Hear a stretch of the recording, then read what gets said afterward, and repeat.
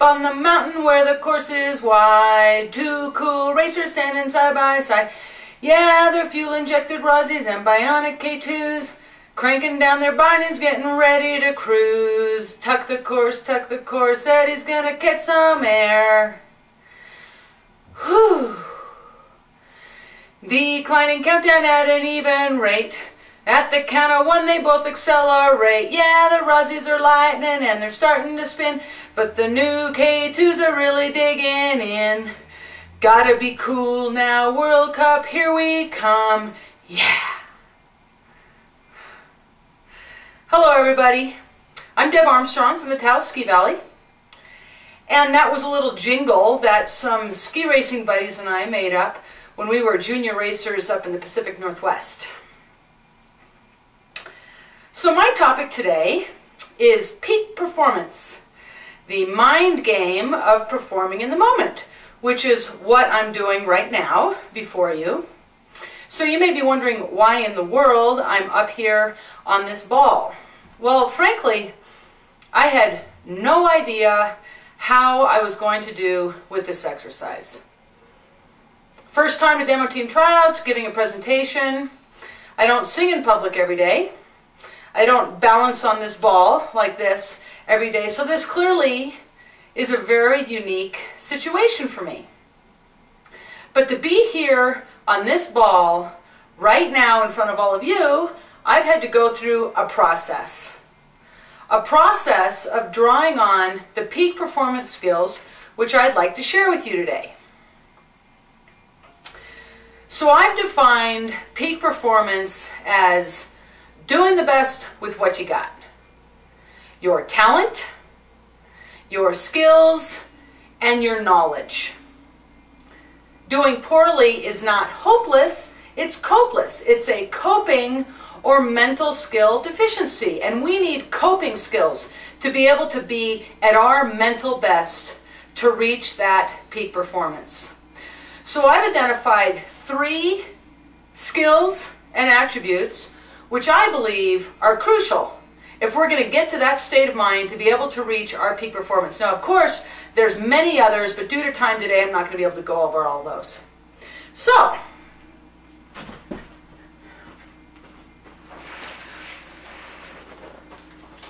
the three skills and attributes that I'd like to cover today are excitement, eager, e eagerness, and curiosity for the event visualization skills, and goal setting skills. So to start with,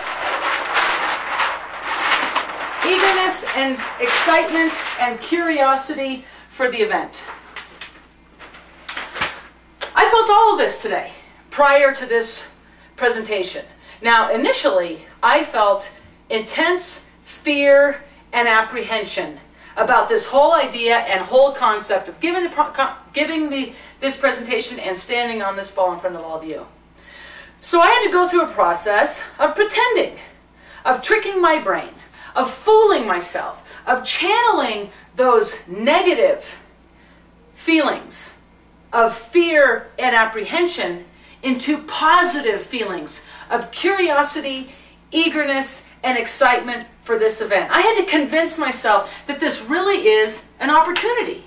An opportunity to get to know myself a little bit better. I had no idea how I was going to feel prior to getting on that ball. This was an opportunity for me to have a new experience, and I was excited about that. So why in the world does that matter? Why do we care? Because I believe to be at our peak performance, to be at our best, we need to have desire. Not for the outcome, but desire for the happening, desire for the experience, for the uniqueness of the experience. So I've got a story I'd like to share with you. In 1984, I was lucky enough to be a member of the, of the Olympic team. And I knew prior to going into that event, it was going to be unlike anything that I had ever experienced in my lifetime unlike any World Cup race, any athletic competition. It was going to be different. And whatever came along with that circumstance, I wanted to experience it.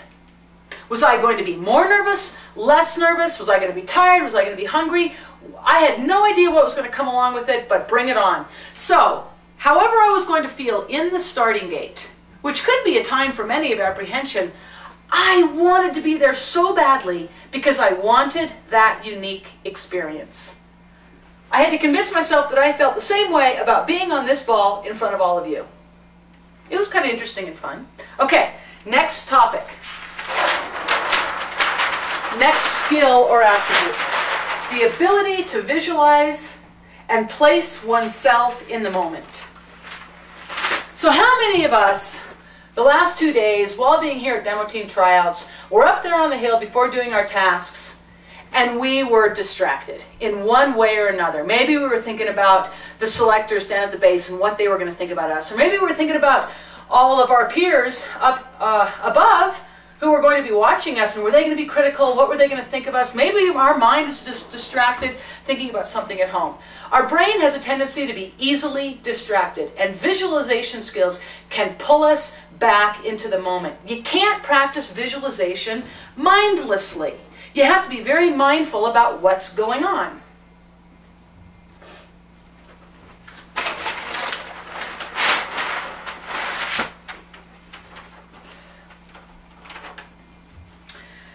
So like technical skills, this takes practice.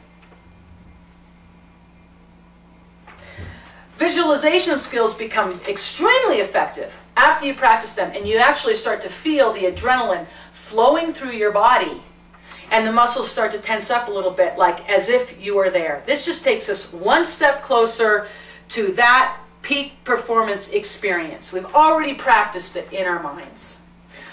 Practicing for this presentation today, being on the ball in the gym, I'd get to the gym, I'd stand on the ball, and I tried to visualize every situation that I might be encountered with right now. I tried to envision the color of the carpet. I tried to envision all of you watching me. I tried to envision hecklers in the back, and I tried to envision worst case scenarios, all in anticipation for this event, placing myself here.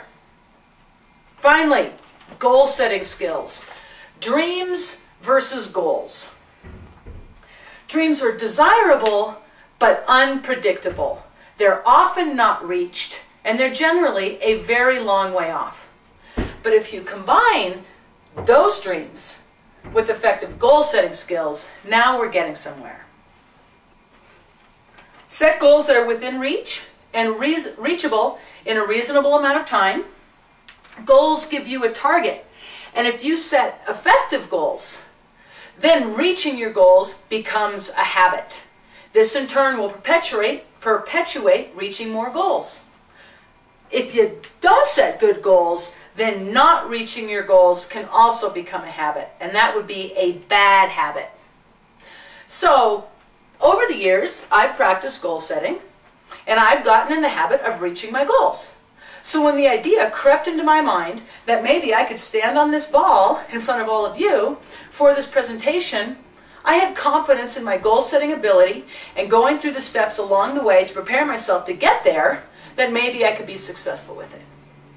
So in conclusion, Peak performance covers a wide spectrum of activities. It could be all of the ski tasks that we've been doing the last couple days. It could be the interview that we're going to be conducting. Or it could be giving a presentation or running our first marathon. But if peak performance is important, then eagerness, excitement, and curiosity gives life and energy for the event. Visualization provides the additional practice in anticipation. And goal setting skills provide the small, realistic steps along the way to make those dreams come true. Thank you.